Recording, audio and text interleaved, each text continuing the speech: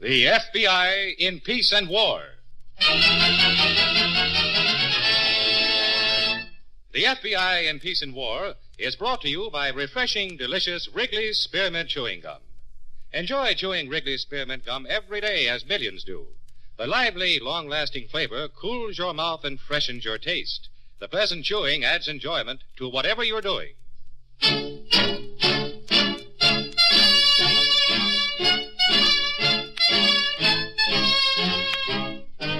Great story based on Frederick L. Collins' copyrighted book, The FBI in Peace and War.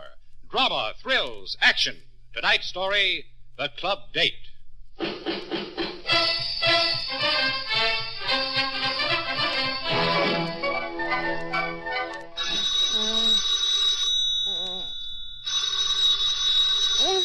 Who could be so cruel right in the middle of the night? All right, all right, all right.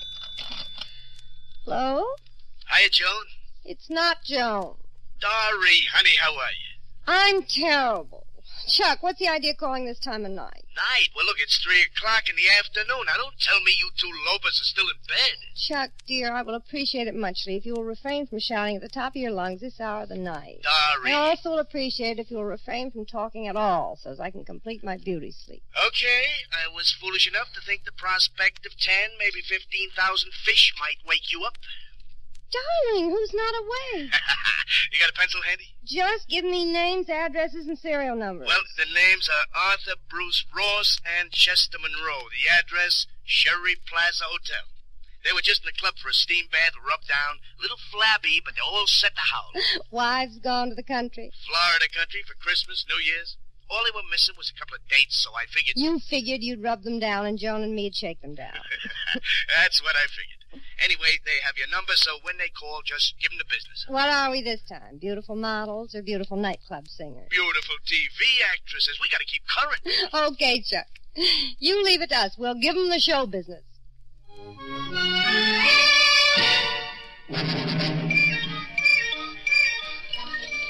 Wanted by the FBI for fraud under the National Stolen Properties Act, Chuck Martin and Dorian Vallandam with aliases. These two, with accomplices, work a very clever swindle in the manner described. Martin, a licensed masseur, secures a position in a private health or athletic men's club and.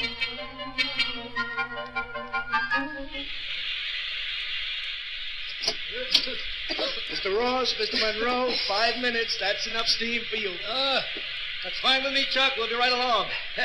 yeah, you had enough, Chet? I had enough five minutes ago. Come on, everybody. have to carry us out. Okay. Take the sheet with you. You'll be right back in shape after a brisk massage. There's nothing like it. well, after last night, I'll never be back in shape. Thanks, Chuck.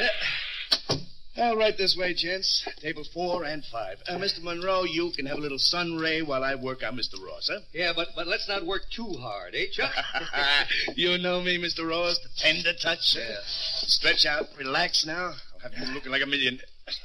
All right, now come on, loosen up. You okay over there, Mr. Monroe? hey, Chet's out cold, huh? Hey, he's sound asleep. I uh, don't want him to get too much sun. Uh, don't worry. Just say scotch and soda when he's had enough. Chet'll come up bouncing. oh, this feels better. Uh-huh. Rough night, huh? Well, a little rugged, Chuck, but worth it, believe me. My recommendation was okay then. Okay. Chuck, where in blazes did you ever find two beauties like that? Huh? Oh, oh, easy there. Oh, now we got to get these knots out. Yeah. Well, I'm glad you and Mr. Monroe enjoyed yourselves. Ah. Next time you, you want a couple of dates, just call up yourselves, huh? Already have, Chuck. Next time's tonight. Oh, oh, a couple of fast workers. Well, I don't know about Chet there, but I went over pretty big. I did, huh? Yeah, I guess the old touch still hasn't gone completely, anyway. Makes you feel kind of young again, you know? Oh, okay, turn over. Well, I mean, a man needs a girl making a fuss over him Well, again. just don't let a girl know you wear a stomach support for the belly, that's all. don't worry. If there's one thing should be kept secret, it's the. Ah, Oh. that's the phone. Do you mind, Mr. Russell? No, not a bit. I could use the rest period. Go right ahead. It's probably an appointment. I'll finish you up as soon as I get back. Won't be a minute. No hurry. Take your time, Chuck. Hello. Hello, Chuck. It's me, Dory. Hey, honey, what did you and Joni do to those guys anyway? They there now? They're practically in a coma. We'll pull 'em out of it by tonight. We got a heavy day. so I understand. You know, I think it's time to shift into high, don't you? why I called. Uh, Joan and I've worked up a telegram. You got a second? Shoot. To Mr. Waldo Jackson, Esquire, Hotel Belmore, Passaic. Proposition we are working on near ready. Suggest you join us immediately. Signed, Joan Dorian Chuck. Okay for sending? Okay for sending. I'll see you later, Dory. Bye. Bye, Chuck. Yeah, I'm sorry for the interruption, Mr. Ross. I'm ready to finish you up now.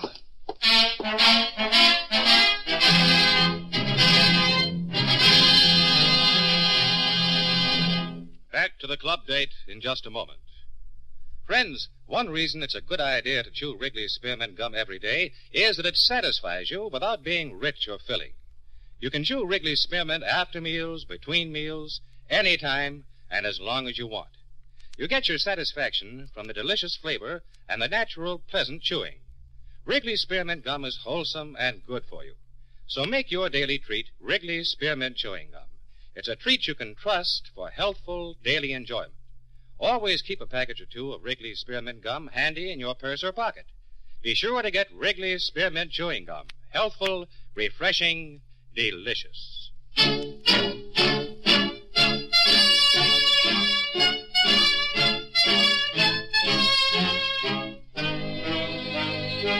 Act two of tonight's story on the FBI in Peace and War, the club date.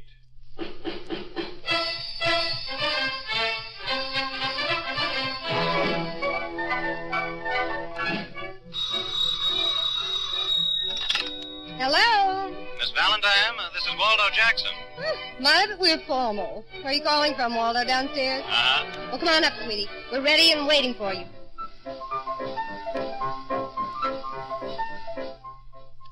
All right, Dory. What's his name? Ross. Arthur Bruce Ross. Nickname? Artie. Close friends call him Buck. What's his wife's name? Mildred. How long have they been married? Forever. Come on, come on.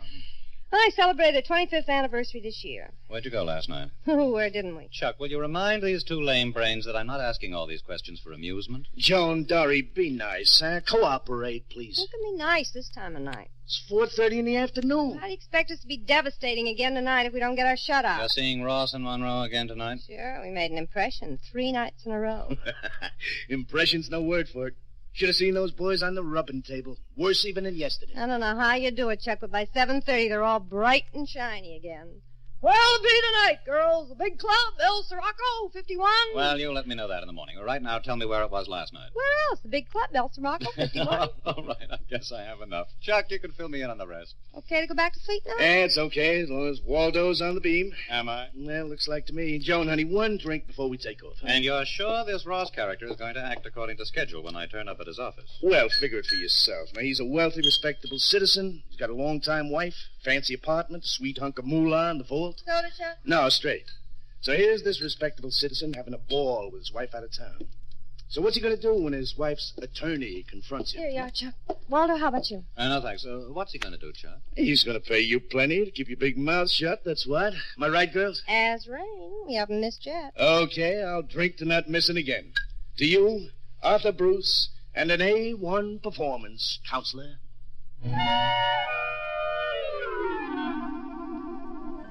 FBI identification number 16J21206.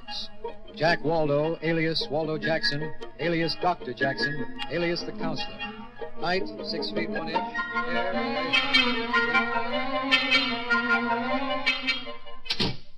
Morning, Steve. I've got that stuff from identification. Oh, good. Uh, Dave, you've met Chief of Police Manley. Sure, we worked together on that Braden case. How are you, Chief?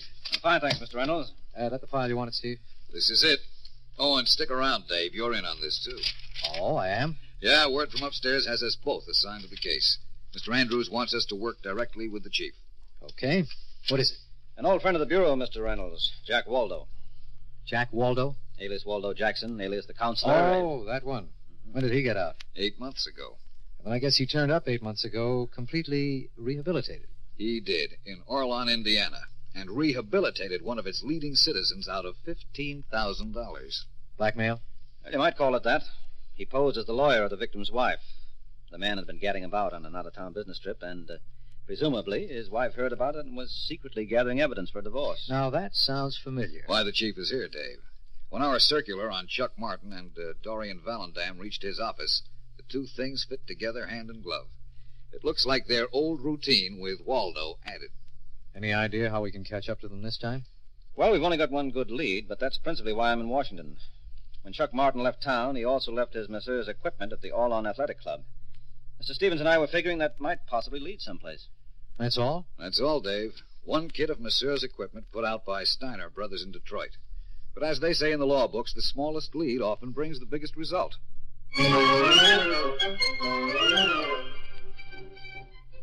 Good morning, miss. I have an appointment with Mr. Ross. Uh, Waldo R. Jackson is the name, attorney at law.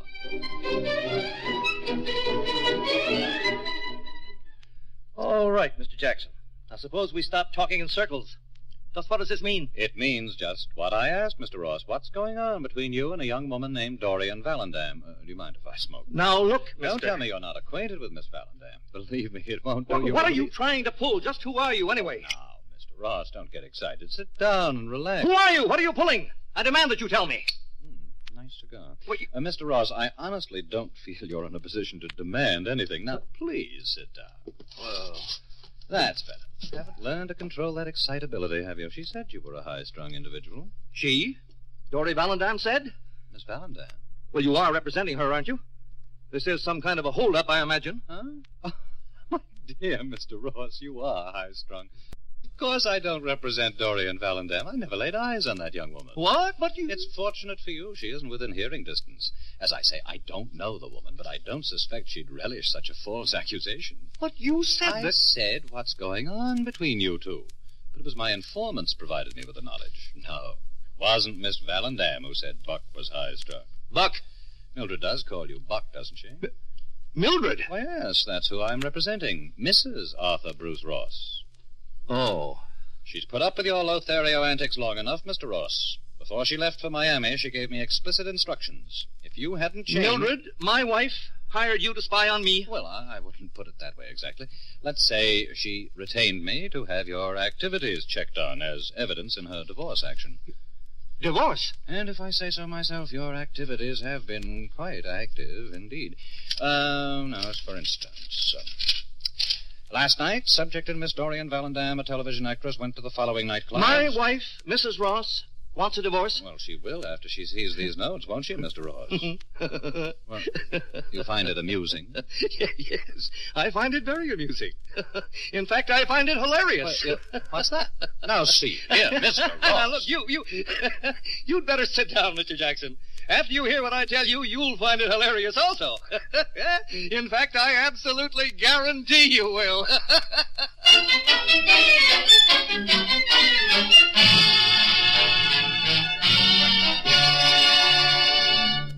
Back to the club date in just a moment. Friends, here's a helpful suggestion that will add to your family's fun and enjoyment on Christmas. While you're doing the rest of your Christmas shopping, get some packages of healthful, delicious Wrigley's Spearmint Chewing Gum. Hang glistening packages of Wrigley's Spearmint on your tree. They're white, red, and green, real holiday colors, and they'll give your tree an added attractive touch of color and cheer. Slip a few packages of Wrigley's Spearmint Gum into Christmas stockings. They'll delight the children. Remember, too, Wrigley's Spearmint Gum is a wholesome, non-filling treat for your family to enjoy after those big holiday meals. So for extra holiday enjoyment that costs very little, get a supply of Wrigley's Spearmint Chewing Gum. Healthful, refreshing, delicious.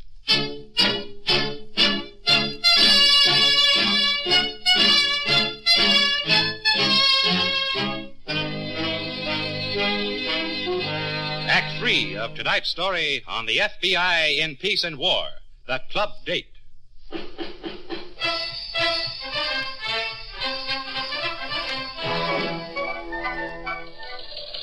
To Chief of Police Manley, Orlon, Indiana. Answer received from Steiner Brothers in Detroit. New equipment forwarded last month to Chuck Martin, Metropolitan Health Club, New York City. Suggest meeting New York at your earliest convenience. Sign it Stevens and Reynolds, FBI.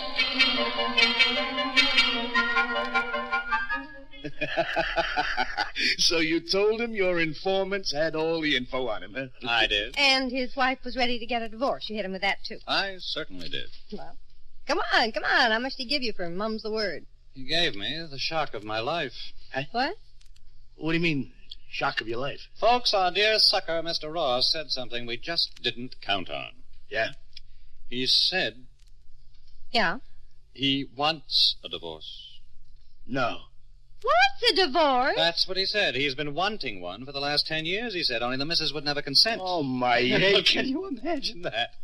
We sure didn't count on something like that, did we? We sure didn't count. What's the matter? Nothing. Nothing. We're so glad you're amused. Charm, to be sure. You don't think it's funny? Dropping 10, maybe 15 G's, always good for a laugh. I'm holding my side. What? Who said anything about dropping ten G's? What do you mean, who said? You said. You know, every time you open your yap, Waldo, I don't like Now, it. wait a minute, Chuck. Now, wait a minute. Don't jump off the deep end. I hear Waldo's brain cooking. Thank you, Dory dear. Cooking what? Well, when our friend Mr. Ross sprung the unexpected on me, I was taken aback, naturally. Naturally. But only for the moment. So the man wants a divorce, I said to myself. So Waldo will give it to him. Huh? In fact, that's the reason I'm in the man's office to arrange for the divorce and the financial settlement. Ah! Financial settlement. That's like money? That's exactly like money, Chuck. Normally it's called alimony. However, the plan I worked out with Arthur Bruce does away with long, drawn out payments. The plan we worked out calls for one payment only. A flat figure of $35,000 payable upon my return with legal drawn document at 3 o'clock this afternoon. Now, I think that's rather funny, don't you?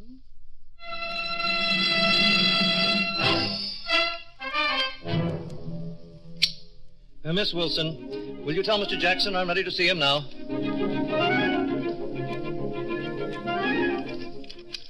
And it is further ratified, approved, confirmed, and adopted by the court, and made a part of this agreement set out in full herein, and the parties are hereby directed to carry out all the provisions thereof, done in open court, the date, signatures, and so forth. So, that's about all there is to it, Mr. Ross. How does that sound to you? Well, it sounds very interesting. Uh, don't you think so, Steve? I certainly do. Interesting, to say the least. Yes. I, oh, I hope you don't mind my having Mr. Stevens here to advise me, Mr. Jackson. Mine, on the contrary, sir, I'm delighted. As an attorney, I think it only proper that you be represented. In fact, I wouldn't have it otherwise. Neither would I. And now, if this agreement is satisfactory... Mr. Jackson, Sir? may I ask one question? Any question at all? What about visitation? Uh, what about what? Visitation. What about it? Surely you've included a provision on children. Well, if the two are getting a divorce, I think it unlikely. that- Mr. Stevens is referring to my boy at prep school, Mr. Jackson. Arthur Bruce, Jr. Oh, your boy at prep school. Surely you've included a provision on him. A visitation provision. Uh huh. Well, now, frankly, Mr. Stevens, I forgot.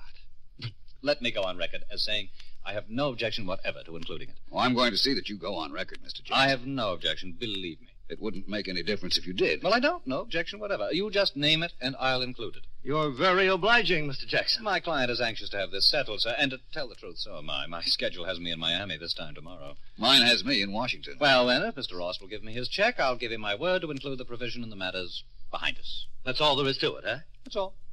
Well, what do you think, Steve? Well, I have a certified check here for twenty-five thousand made out to Mr. Jackson. Uh, for thirty-five thousand, I believe. No, no, I think Mr. Stevens has the one for thirty-five, Oh? and I also have one here for ten thousand, and another for fifteen.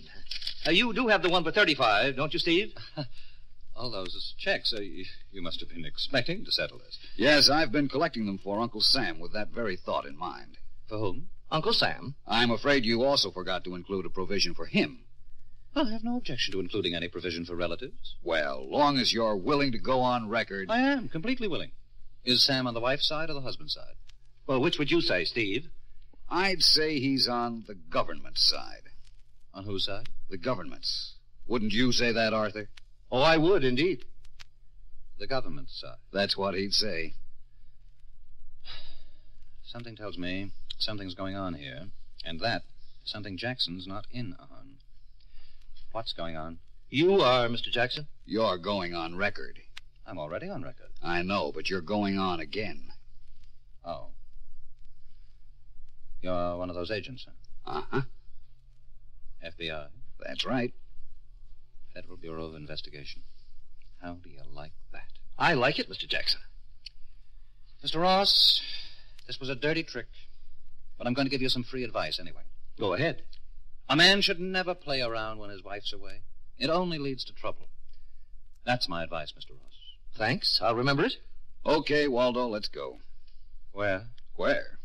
Why, to the athletic club, of course. After a trying day, there's nothing like a brisk massage, is there? No, there's nothing like it. To think last New Year's resolution was a solemn promise to make this New Year's resolution outside the pokey. Oh, well, if at first you don't succeed, try, try again, eh? All right, Uncle Sam, let's go.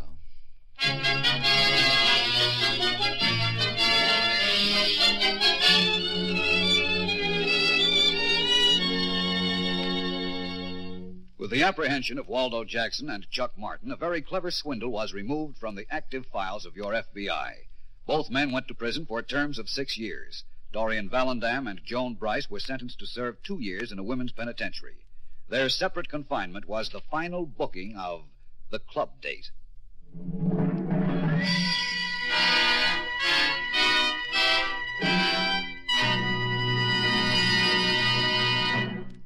Friends, we want to remind you that it's a good idea to have plenty of healthful, delicious Wrigley's Spearmint in your home for the holidays. Hang some glistening packages of Wrigley's Spearmint on your Christmas tree. They'll give your tree an extra touch of color and good cheer. Give the children an added treat by putting a few packs of Wrigley's Spearmint in their Christmas stockings. And have some to pass around to everyone during family get togethers. Remember, too, Wrigley's Spearmint Gum is an ideal treat to top off hearty holiday meals because chewing Wrigley's Spearmint freshens the taste, sweetens the breath, and aids digestion.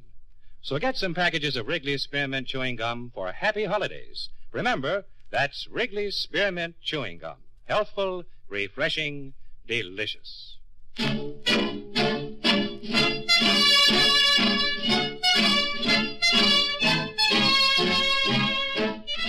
In tonight's story, Alan Hewitt played the role of Waldo Jackson. Walter Greaza was Arthur Ross. This radio dramatization for the FBI and Peace and War was written by Jack Anson Finke. These programs are produced and directed by Betty Mandeville. All names and characters used on the program are fictitious. Any similarity to persons living or dead is purely coincidental. This program is based upon Frederick L. Collins' copyrighted book, The FBI in Peace and War, and the broadcast does not imply endorsement, authorization, or approval by the Federal Bureau of Investigation.